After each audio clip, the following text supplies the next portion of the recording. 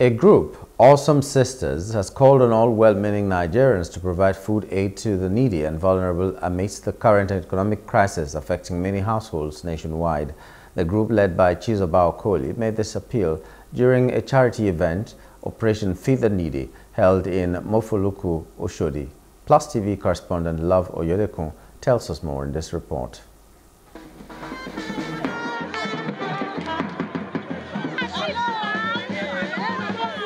This was a scene as Operation Feed the Needy touched the ground at Mafoluku, a community in the heart of Oshodi, Lagos State.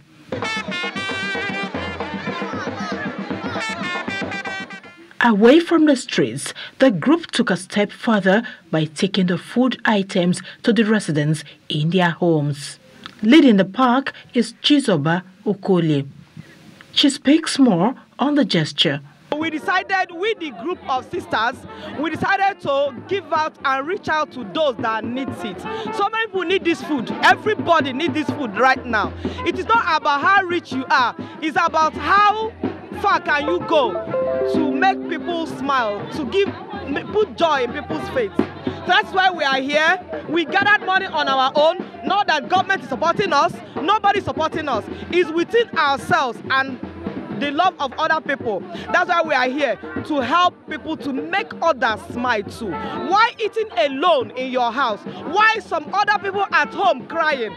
So many women out there in the market stealing food just to make sure that their children feed.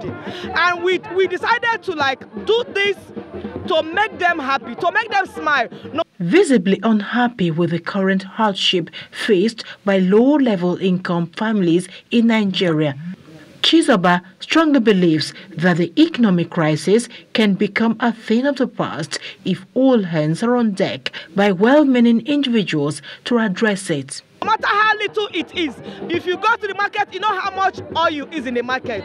So anybody you give oil, even a little oil, it goes a long way. Oil can cook rice, it can cook beans, it can make soup, it can make anything you want.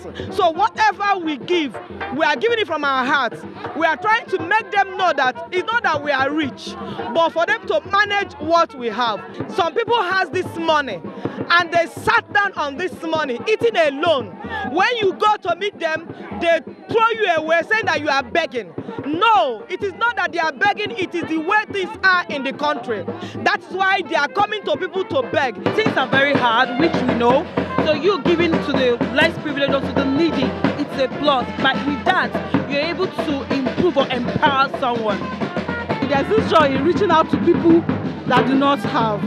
You understand? There is joy in sharing what you have with others. There's actually joy in it. I feel fulfilled doing it. Beneficiaries, though refused a close-up with a camera, thanked the organizers for putting together the event. Some of the food items distributed includes packs of rice, beans, gari, palm oil, pastas, noodles, among others. Love Uyedukun, Plus TV News. Hello, hope you enjoyed the news. Please do subscribe to our YouTube channel and don't forget to hit the notification button so you get notified about fresh news updates.